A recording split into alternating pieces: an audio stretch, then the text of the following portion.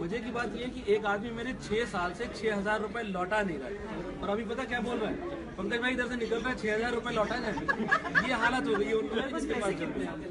मेरे पास मैं कम से कम बड़ा आदमी हूँ।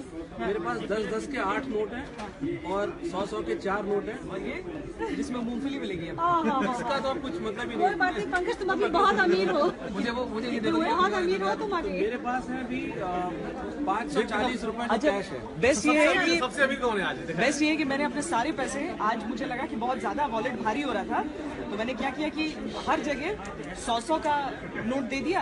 अब मेरे पास है एक हज़ार। श्वेता दो हज़ार तीन हज़ार साढ़े तीन हज़ार और इकलौता नोट जिसका काम है।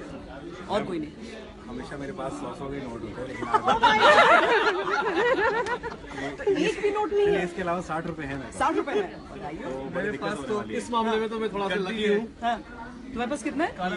एक दो तीन चार पाँच छः साठ तो ये हो गए। और सौ दो सौ तीन सौ चार सौ। साठ। ये सबसे अमीर है क्या? सबसे अमीर है। अभी हो। है गरीब आप पक्का तैयार हो जाओ जिसके भी घर में बर्थडे आने वाले हैं शादी होने वाली है लिफाफे के अंदर हज़ार और पाँच सौ ये तुमने हो सकता है। बाहर लिखा भी होगी कि कृपया न्योता में हज़ारों की नोट नोट ना दे पाँच सौ की नोट ना दे। ये सोचो कितना भारी हो जाएगा डेढ़ हज़ार देना होगा और शादी सबसे हाथ है अनस जी के यहाँ पे घर पे है। शादी मेरे घर पे भी मेरे भी भाई की शादी भाई की शादी है साले की शादी है इनके। तो अब पता नहीं कैसे होगा।